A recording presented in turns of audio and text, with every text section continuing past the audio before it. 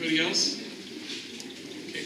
So I have the thought for the day. I just had it. Yay. Yeah. So um, the thought for the day is on breaking the cycle. And that's an expression we hear a lot, you know, it's like, uh, well, I'm just breaking the cycle. And, and part of that expression is really means breaking the chains of the cycle. You know, the cycle, the chains of addiction, gangbanging, domestic violence, school dropout, whatever it might be, you know, you break uh, the cycle.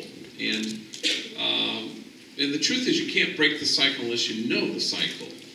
You know, a lot of times people go, well, what cycle? What are you talking about? You can't break the cycle unless you can see the chains. And that's really important. So, uh, one of the many reasons why I admire you is you've walked through the, these doors, which means you've embraced an interruption strategy. I'm going to interrupt this cycle. I'm going to take a look at the chains. I'm going to see them because nothing can change unless you do. Uh, a homie once said to me, No one is born a slave, but some of us, he says, are born into slavery. And so it's a, it was a wise thing to say because it's about uh, looking at stuff, perhaps for the first time, where you say, Yeah, my stepfather used to do that to my mom. Yeah, I'm never going to do that. And as painful as it is to see that, to know that, you can't break the chains of that unless you actually look at it. And that's part of the work that happens here. My parents were both addicts, and, and I'm an addict, and, and I'm going to break that cycle just because I know it, I see it. That's my interruption strategy, which is why you walk through these doors in the first place. I can remember I once asked a homie, um, you know, trying to get him to see the kind of how bankrupt gang banging in neighborhoods are. And I said, what would you say to your son if he said, I'm going to get jumped into your neighborhood? And he thought about it and he said, I would beat his ass. and nobody thinks that would break a cycle.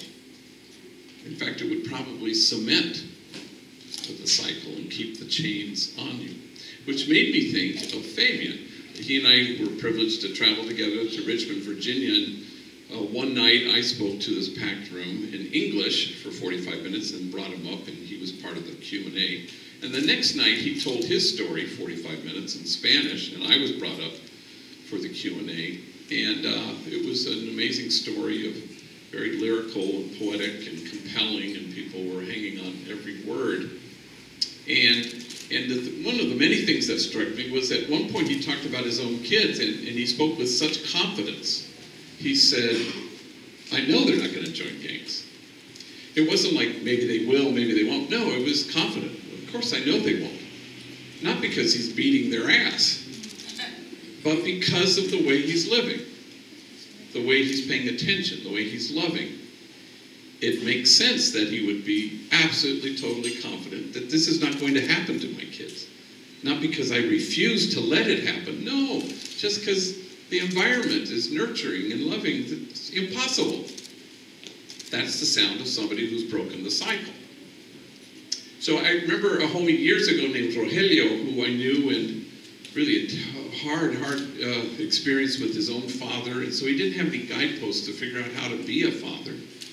And um, he called me one day, and, uh, and it was hot in the summer, and the day before he was at a public pool with his kid Andres, who was five years old. And he was telling me how he, you know, um, was throwing him in the pool and cannonballs and Marco Polo, and, and, and he, the kid would go up in a ball and he'd throw him into the deep end, and oh, the kid loved it, and do it again, and do it again, and it was all these do it agains, you know, and finally, Rogelio said, I'm pooped, so I mean, I'm going to take a break. So he gets out of the pool, and the kid is still in the pool, and he lays his towel down right at the edge of the pool and, and rests his chin on his folded arm so he can eyeball his kid while he's in the pool. And Andres keeps swimming, and, and finally, Andres swims over to the edge of the pool, right to the lip of it, right where his father is. And he mimics his father, kind of resting his chin on his folded arms, and they're staring at each other. They're not saying a word, they're just staring at each other. And finally, Andres says,